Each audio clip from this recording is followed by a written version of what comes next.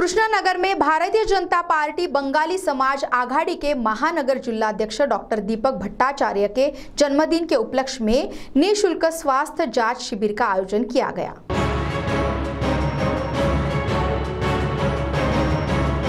भाजपा बंगाली समाज आघाड़ी चंद्रपुर महानगर की ओर से कृष्णनगर में निशुल्क स्वास्थ्य शिविर का आयोजन किया गया था। इस शिविर में करीब साढ़े तीन सौ नागरिकों ने लाभ लिया। शिविर का उद्घाटन भाजपा महानगर अध्यक्ष डॉक्टर मंगेश दिलवाड़े ने किया। इस समय प्रकाश धारने सुभाष कासन गुट्टुवार ब्रजभूषण पाजारे, भारती दुदानी, पार्षद सोयाम, मंडल अध्यक्ष दिनकर सोमलकर, रवि लोनकर व आयोजक डॉक्टर दीपक भट्टाचार्य प्रमुख रूप से उपस्थित थे। शिविर में शहर के नामी डॉक्टरों ने अपनी सेवाएँ दी।